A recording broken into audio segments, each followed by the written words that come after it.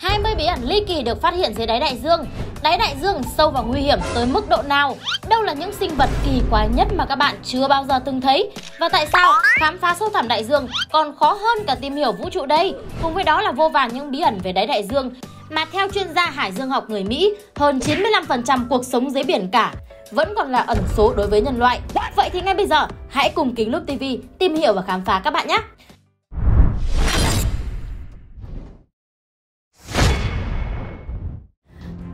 Tại sao thám hiểm đáy đại dương lại nguy hiểm hơn nhiều so với khám phá vũ trụ? Các bạn thân mến, đại dương bao phủ 70% diện tích trái đất, nhưng 95% đại dương chưa từng được con người thăm dò.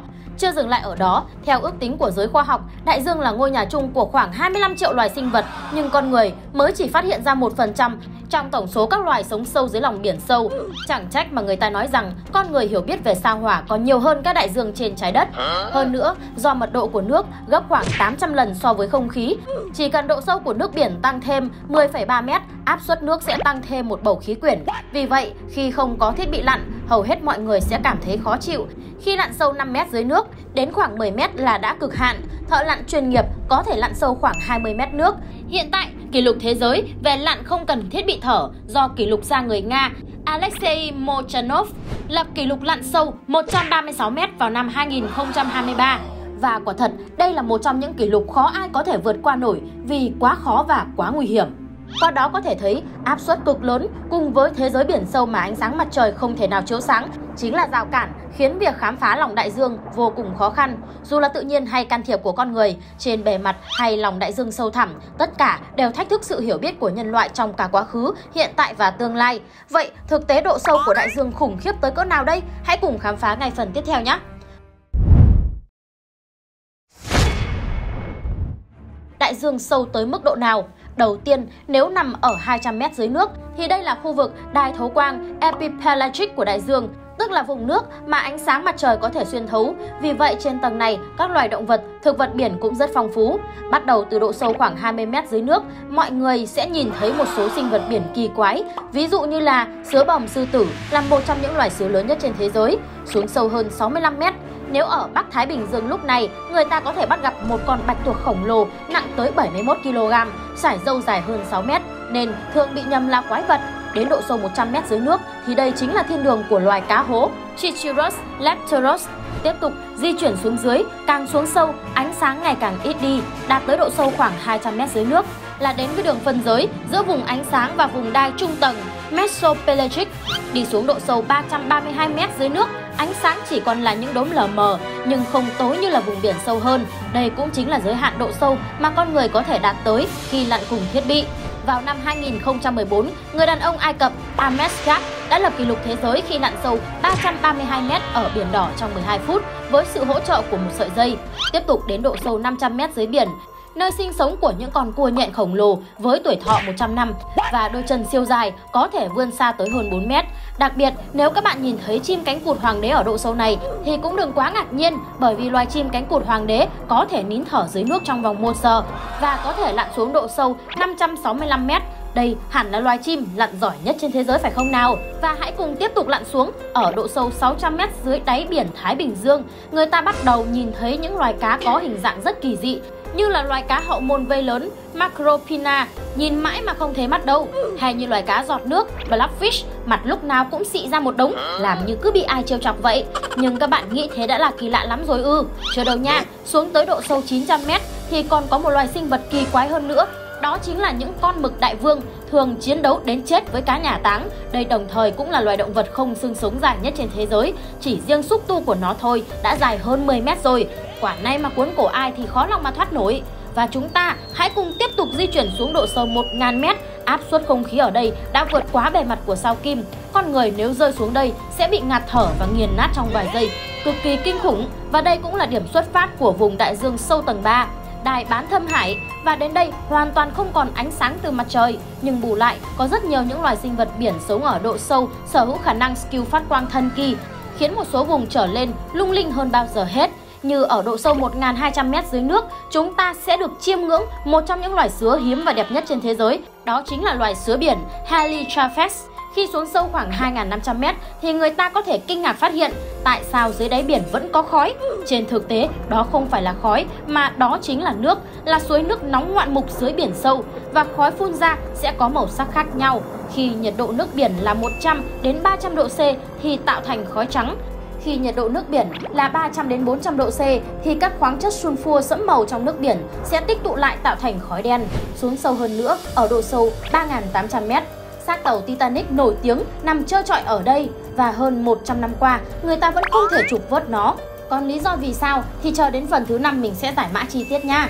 Tiếp tục ở độ sâu khoảng 4.000m đến 6.000m dưới nước thì đó chính là đai thâm hải Abyssal Pelagic Zones, theo tiếng Hy Lạp thì có nghĩa là sâu không đáy.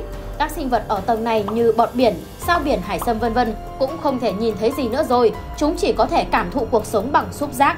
Dưới độ sâu 6.000m là vùng đai Hadopelagic, tên tiếng Anh của nó bắt nguồn từ tên của Hades, vị vua của địa ngục trong thần thoại Hy Lạp. Thực tế, nó cũng chẳng khác địa ngục là mấy khi tại đây chúng ta có rãnh Mariana nằm ở phía tây bắc Thái Bình Dương và cũng hiện là nơi sâu nhất trên hành tinh này. Điểm sâu nhất của rãnh này mang tên Challenger Deep có độ sâu khoảng 10.994m, độ sâu ngang ngửa 13 tòa nhà cao nhất trên thế giới, Burj Khalifa xếp chồng lên nhau.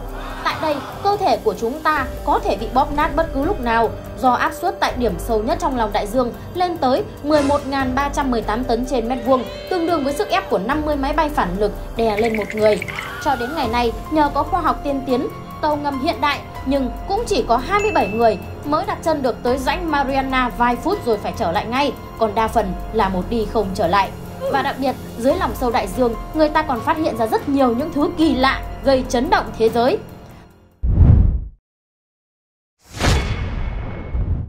Đĩa bay của người ngoài hành tinh dưới đáy biển Baltic Nhắc đến những sinh vật bí ẩn nhất đại dương, hẳn ai nấy sẽ nghĩ ngay tới quái vật khổng lồ Kraken luôn gieo rắc nỗi ám ảnh và khiếp đảm cho ngư dân đi biển, hay những nàng tiên cá kỳ bí có vẻ đẹp mê hoặc người. Cùng với đó là vô số những thứ khiến người ta dấy lên mối lo ngại và suy đoán về sự tồn tại của người ngoài hành tinh. Điển hình đó chính là đĩa bay của người ngoài hành tinh dưới đáy biển Baltic. Theo đó, vào năm 2001, đội trục vớt chuyên nghiệp Ocean X của Thụy Điển đã bất ngờ phát hiện một đĩa tàu ngầm khổng lồ dưới độ sâu chừng 90m với đường kính khoảng 60m và chiều cao khoảng 4m cùng các cạnh nhẵn và hình vòng cung hoàn hảo với thành phần cấu tạo cực kỳ phức tạp khiến ai nấy không khỏi đặt ra giả thuyết liệu đây có phải là sản phẩm của một nền văn minh tiên tiến nào khác. Khi bí ẩn này còn đang gây hoang mang dư luận thì cách đó khoảng 200 mét, Ocean X lại tìm thấy chiếc đĩa bay thứ hai. Họ suy đoán rằng đây chính là một UFO đã bị rơi vào vỡ làm đôi, sau đó trượt theo hai hướng, tạo thành hai vết kéo. Suy đoán này hoàn toàn có thể là sự thật bởi một phi công người Thụy Điển đã từng nhìn thấy một vật thể bay khổng lồ hình tròn đậu giữa không trung khi đang thực hiện nhiệm vụ trên biển Baltic. Khi anh chuẩn bị bay qua để kiểm tra, vật thể bay bất ngờ tăng từ độ cao 1 km so với mặt biển lên độ cao 10.000 mét. Anh chưa bao giờ thấy thứ gì có thể bay nhanh đến như vậy và ngay sau khi anh đuổi kịp, vật thể bay đã biến mất trong không trung. Sau đó phi công người Thụy Điển đã vẽ bức tranh về UFO mà anh ta nhìn thấy. Đáng ngạc nhiên, UFO mà anh ta vẽ gần giống với chiếc đĩa bay khổng lồ được chụp bởi đội trục vớt Ocean X. Sự trùng hợp kỳ diệu này càng khiến cho các thành viên trong đội trục vớt tin rằng đây có thể là đĩa bay của người ngoài hành tinh đã chìm xuống đáy biển cách đây 140.000 năm. Có thể thấy không chỉ là trên bầu trời mà dưới đáy đại dương sâu thẳm cũng đã phát hiện ra những dấu vết liên quan tới sinh vật người ngoài hành tinh. Phải chăng sinh vật này hoàn toàn tồn tại và đang âm thầm ẩn cư ở đâu đó mà chúng ta chưa hề biết? Các bạn có tin vào sự tồn tại của sinh vật này hay không thì đừng quên để lại comment tôi tin hoặc là không tin để bày tỏ suy nghĩ của các bạn cho mình biết nha. Và tiếp theo, hãy cùng khám phá vô vàn những phát hiện chấn động khiến ai cũng không khỏi ngỡ ngàng.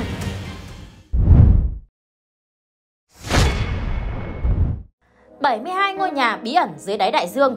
Các bạn thân mến, dưới đáy đại dương rộng lớn và bí ẩn, con người đã khám phá và tìm thấy một số những điều kỳ lạ như là dòng sông đáy biển, những bức tượng cổ xưa, các hiện vật chiến tranh, cùng rất nhiều kho báu đồ sộ, thậm chí còn là những thành phố bí ẩn đẹp rực rỡ. Điển hình như vào năm 2001, cả Trung Quốc được một phen chấn động trước phát hiện một thành phố cổ sư thành đẹp lung linh bị ngập trong nước ở độ sâu 40 m dưới nước hồ Thiên Đảo thuộc Chiết Giang hơn 1.400 năm nhưng vẫn vẹn nguyên vẻ đẹp cổ kính.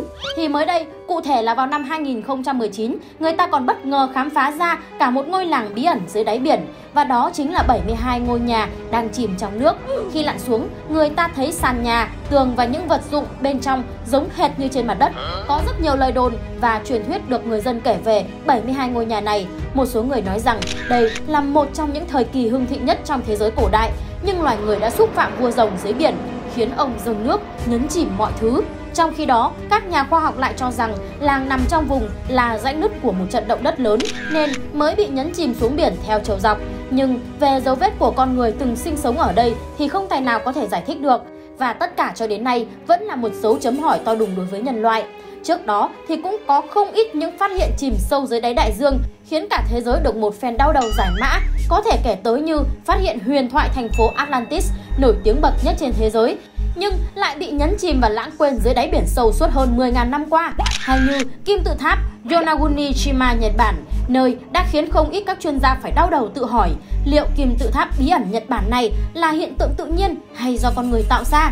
Và các nghiên cứu đã chỉ ra rằng đây đều là những tàn tích của những nền văn minh cổ đại tiên tiến vượt xa con người ngày nay. Cũng như theo các truyền thuyết kể lại rằng chính là vì do đạo đức con người thời đó ngày càng bại hoại, kiêu càng ngạo mạn luôn cho rằng ta đây là giỏi nhất mà họ đã bị thần linh trừng phạt để rồi toàn bộ các công trình cực khủng đó đều đã bị nhấn chìm xuống đáy đại dương suốt hàng trăm, hàng nghìn năm như vậy. Chưa kể, dưới đáy đại dương sâu thẳm kia còn là mồ chôn của biết bao nhiêu con tàu. Bí ẩn về những vụ tàu mất tích dưới đáy biển Các bạn thân mến, chỉ vài tháng trước, tức ngày 18 tháng 6 năm 2023, cả thế giới đã không khỏi bàng hoàng trước thông tin tàu lặn Titan chở theo 4 hành khách và một tàu lái đã mất tích sau 1 tiếng 45 phút lặn xuống tham quan xác tàu Titanic ở độ sâu hơn 3.800m dưới đáy Đại Tây Dương với lượng dưỡng khí đủ trong 96 tiếng. Đáng buồn là đã không có kỳ tích nào xảy ra và cho đến ngày 22 tháng 6, tất cả đã được thông báo là thiệt mạng sau khi con tàu phát nổ do mức áp suất dưới đáy đại dương quá lớn, lên tới gần 6.000 psi, tương đương với 420 kg trên cm vuông, tức là cao gấp 380 đến 400 lần suất khí quyển trên bề mặt trái đất. Áp suất này khiến cho mỗi mét vuông trên thân tàu Titan chịu sức ép của khoảng 4.200 tấn. Dưới sức ép đó thì bất kỳ khiếm khuyết nào ở trên thân tàu hay sự cố nào đều có thể khiến cho cấu trúc tàu bị sụp đổ và lập tức bị ép bẹp thành nhiều mảnh. Và dĩ nhiên, khi tàu nổ thì những người ở trong khu vực điều áp sẽ thiệt mạng gần như ngay lập tức. Đáng buồn hơn nữa, đây không phải là vụ tai nạn duy nhất dưới đáy đại dương mà vào năm 1968, bốn tàu ngầm khổng lồ thuộc bốn quốc gia khác nhau đều mất tích và trở thành thảm kịch quân sự chấn động bậc nhất thế kỷ 20. Không một nhà điều tra nào trên thế giới thời điểm ấy có thể tìm ra nguyên nhân của những vụ mất tích bí ẩn. Theo đó, những tàu ngầm lần lượt mất tích trong năm 1968 bao gồm tàu ngầm INS Dakar, Hải quân Israel mất tích vào ngày 9 tháng 1 năm 1968, tàu ngầm Minervus S647, Hải quân Pháp mất tích vào ngày 27 tháng 1 năm 1968. Tàu ngầm K129 Hải quân Liên Xô mất tích vào ngày 8 tháng 3 năm 1968. Hay như tàu ngầm USS Scorpion SSN 589 Hải quân Mỹ mất tích vào ngày 22 tháng 5 năm 1968 và cả bốn chiếc tàu ngầm trên đều mất tích một cách kỳ lạ trong lòng nước ở độ sâu hàng nghìn mét khi đang làm nhiệm vụ Bất chấp mọi nỗ lực tìm kiếm của các nhà chức trách, tất cả đều đi vào ngõ cụt khi người ta không thể tìm ra bất cứ mảnh vỡ hay manh mối gì. Và số phận của bốn chiếc tàu ngầm này mãi mãi chôn vùi sâu dưới lòng đại dương sâu thẳm, cũng như chẳng một ai biết chuyện gì đã xảy ra với chúng. Và cuối cùng là chuyên mục được rất là nhiều các bạn mong chờ đây. Bạn hỏi hay, Kính Lúc trả lời ngay. Trong phần cuối video ngày hôm nay, Kính Lúc TV có thêm một chuyên mục mới, đó chính là dành lời chúc sinh nhật cho rất là nhiều các bạn chuẩn bị sinh nhật vào tháng tới, tức là tháng 11 đấy. Và có bạn nào mà sắp sửa sinh nhật nữa thì cũng nhiệt tình comment đi để biết đâu comment của các bạn sẽ được chọn để lên TV thì sao? Nhưng mà ngoài ra, chúng ta cũng không có bỏ qua chuyên mục hỏi hay trả lời ngay đâu nha. Và cùng đến ngay với câu hỏi đầu tiên. Sao không có ngày đàn ông vậy? Ai chà chà, có vẻ như bạn đặt câu hỏi này đang cảm thấy hơi bất công phải không nào? Thực ra, có một ngày gọi là Quốc tế đàn ông, chỉ là không ai nhắc tới mà thôi. Đó chính là ngày 19 tháng 11. Tuy nhiên hiện nay, chỉ có hơn 70 quốc gia trên thế giới công nhận ngày này, trong đó thì không có Việt Nam. Vì vậy mà ngày Quốc tế đàn ông cũng ít phổ biến và được nhắc tới như là ngày Quốc tế phụ nữ các bạn ạ. Bản chất của ngày Quốc tế đàn ông thì không phải nhằm mục đích tặng quà hay vinh danh cho nam giới, mà đây là để tưởng nhớ những hậu quả mà đàn ông phải gánh chịu từ chiến tranh, bạo lực và nạn tự tử. Comment tiếp theo, chị ơi, sao ăn nhiều mà không cao lên được vậy chị? Mong chị cho em lên tivi. Thật ra chiều cao của chúng ta được quyết định bởi rất là nhiều yếu tố, có thể là gen di truyền, cũng có thể là do chế độ dinh dưỡng. Nhưng mà nếu ăn nhiều mà không cao lên được ấy, em cũng cần phải kết hợp với tập thể dục này như là chạy bộ hay là đu xà đơn. Và nhất là buổi tối thì nên đi ngủ sớm, không nên thức khuya.